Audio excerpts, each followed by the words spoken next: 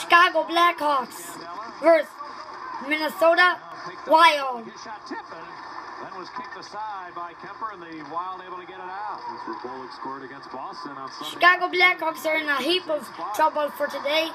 A lot of Chicago Blackhawks hockey players are sick, and there's more defenders than forwards today on the hockey team. So that's why the Chicago Blackhawks are in a heap of trouble not winning this hockey game. They might have zero points for today. I'll still be pissed off if they lose. Minnesota will get the middle finger. If the Chicago Blackhawks lose the Stanley Cup this year, I'm gonna freak out the fuck. I'm freaking out. I'm going to go crazy. I'm freaking out. Parise, his shot. Maybe make a video of myself going cr- the freaking out saying some They'll dump it in.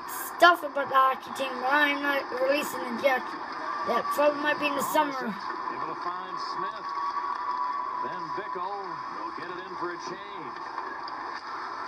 Toews to the corner. On a battle his way out in front. Come on. Chicago, you can do it. Even if you have defenders, you can still do it. Well wide. And now it's taken by Versteeg, his long one. That uh, missed the target as well. And Parise couldn't get it past Hjalmarsson. But Niederreiter followed up. Yeah, good pinch in there. Oh, bullshit on this hockey game already.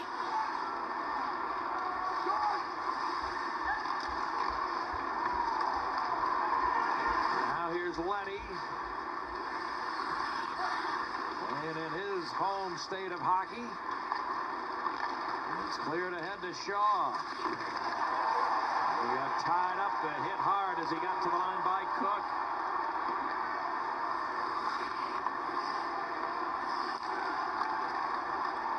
Kane looking to pick up some speed. He fights his way into the zone. Kane to the forehand. His shot blocked by Ballard. Bullshit. Cleared back to center ice. One thing I like what Kane is